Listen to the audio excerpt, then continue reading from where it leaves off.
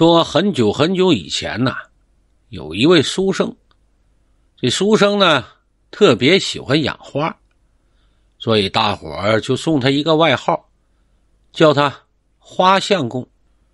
这位花相公啊，有个花园，就挨着大街。这南来北往的人看了，这都夸他这花养的好。这花相公听了，这心里也美滋滋的。说这一天早上，这花相公啊，正在这花园里边浇花呢。这就瞧见从园子外边走进一个白胡子老头。这花相公一看这来人了，赶紧上前客气：“哎，老人家呀，您看我这花园可怎么样啊？”这老头啊，摸着胡子就说：“呃，好归好。”呃，就是少了一颗绿牡丹。花相公一听就问：“哎，老人家呀，这您说这花牡丹上哪儿能弄到？”哎呀，这有是有啊，就怕你受不了苦，找不着。哎，没关系，老人家，呃，您说吧，只要能找到这绿牡丹呐，就是上刀山下火海，那我都不怕。哎呀，那好吧，既然你一定要去找，呃，我就告诉你。于是这白胡子老头啊，便如此这般的就把找绿牡丹的方法和他讲了一遍。这花相公听了老头讲完之后啊，回了家了，带上银子，骑着马就上了路了。按照老头说的道啊，就顺着大道一直往前走。这走啊走啊，也不知道走了多少天，走了多少路，这银子花光了，这干粮也吃没了，最后连马都卖了。但是呢，仍然是没找到这绿牡丹。正在他左右为难的时候啊，这一抬头，就发现前面有一个果园子，里边有个老头啊，正跟他摘杏呢。他急忙走过去，双手一抱拳，就给老头作个揖：“老人家，麻烦您行行好，告诉我上哪儿去能找到这绿牡丹呢？”这老人听了，叹了口气：“哎呀，就是告诉你呀，这你也去不了。”花相公一听，双膝跪倒在地上，再三的恳求这老人。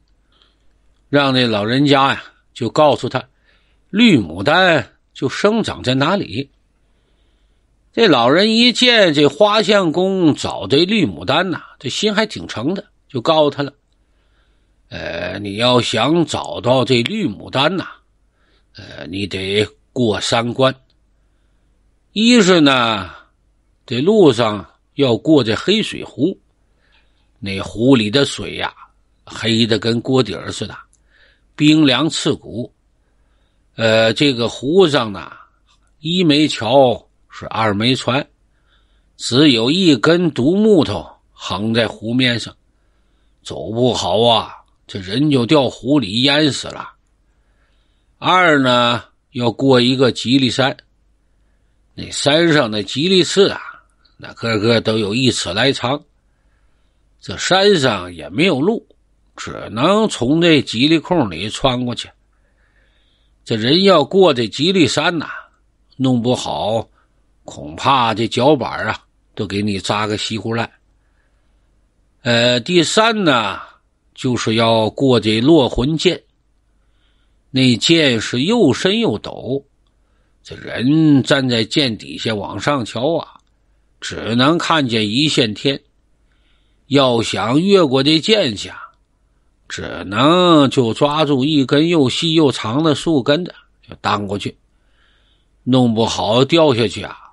不光没了命，恐怕连这尸首都得摔成碎渣渣。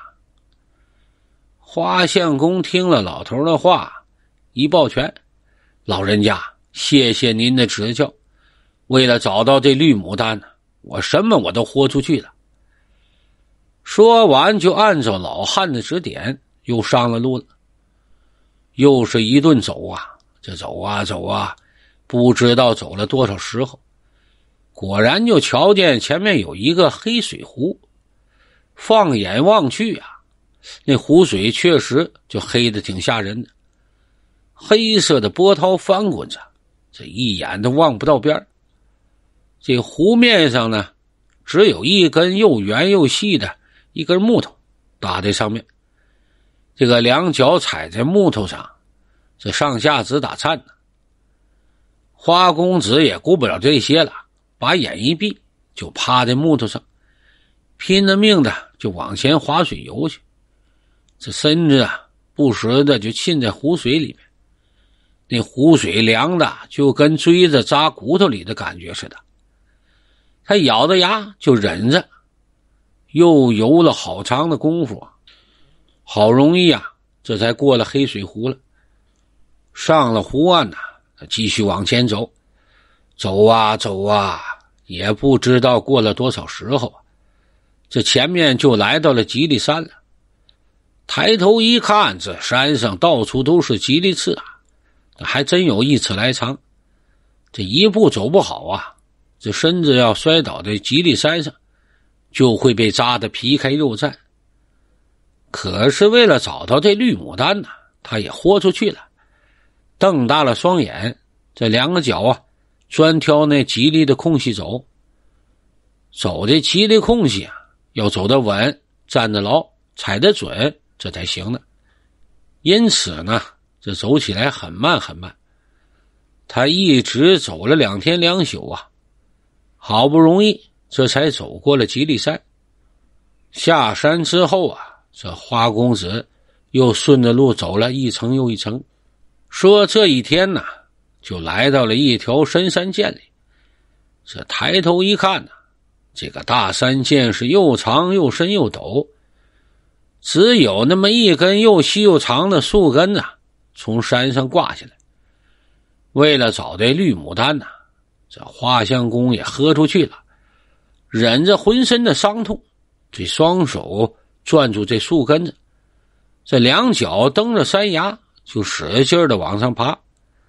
爬呀爬呀，这手都撸没皮了，他也不叫苦；脚割破了，他也不抱怨。也不知道爬了多久，突然就瞧着眼前一闪，一条很宽敞的大路就横在眼前。花公子心想：这下可找到路了。他急忙从树根上跳下来，顺着大路啊就往前走。走了没多远，就进了一个小村子，就瞧见村头上有个老头坐小板凳上正晒太阳呢。这老头一瞧见花公子走过来，就站起来：“哎，你这位公子，大概是来找绿牡丹的吧？”花相公倒抽了一口凉气呀，哎。这老头厉害呀！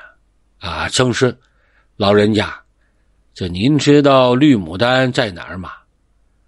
哎呀，你先别急啊，先跟我进家歇歇脚去，吃点饭。哎，吃饱了我就领你去找。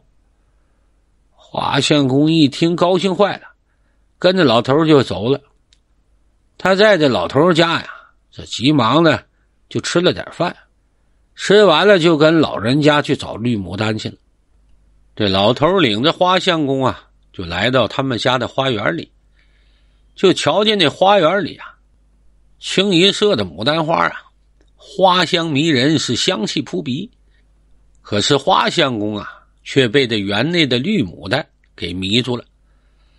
他是左求右求啊，求老人家给他一颗。老头想了想。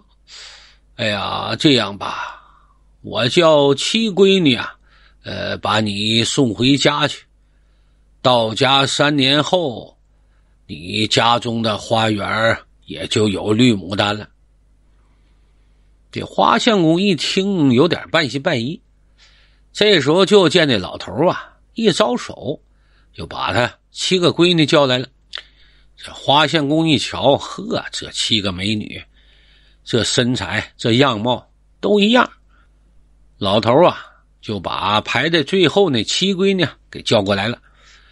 呃，你呀，让她背着，不过你得把眼睛闭上，不叫你睁开，你千万别睁。起先呐，这花相公还不好意思，你说让一个大闺女背，但是呢，就为了得到这个绿牡丹，自己是千难万险都不怕，让大姑娘背怕什么呢？这硬着头皮呀，就趴在七姑娘的背上，把眼一闭，就让她背着走了。这时候就听着耳边风声直响，飞沙走石啊！不一会儿，这风也停了，声也没了，双脚就试着着地那七姑娘呢，就让他把眼睛睁开。他睁眼一看，哟，已经到自己家了。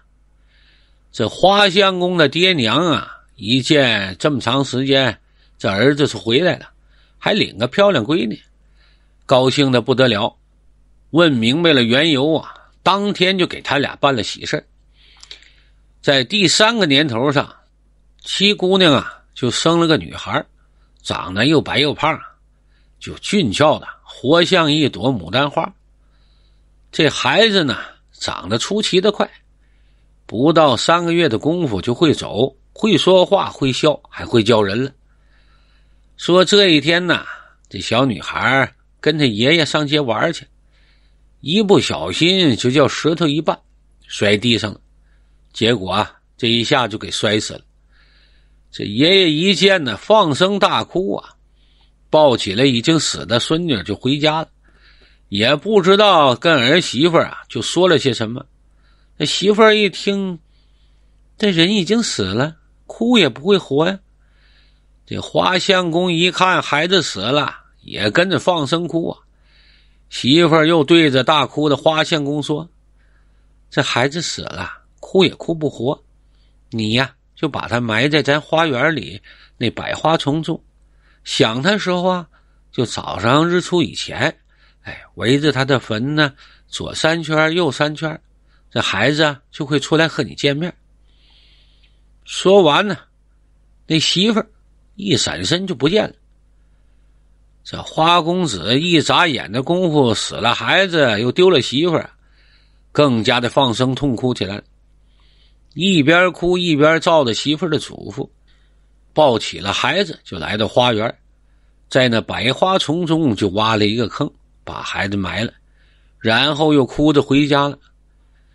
第二天一大早啊，他就起来了，就照媳妇临走时留下的话，在日出之前呢，就来到花园中，围着自己孩子的坟是左三圈右三圈刚转完，就听那坟呼啦一下裂开了，从那坟底下就长出一棵绿杆绿叶的牡丹花。一眨眼呐，那花的叶间又冒出一个花骨朵来，接着就开出了朵朵的绿茸茸、香喷喷的绿牡丹花。从此以后，这花相公家里的花园啊，便有了非常名贵的绿牡丹花。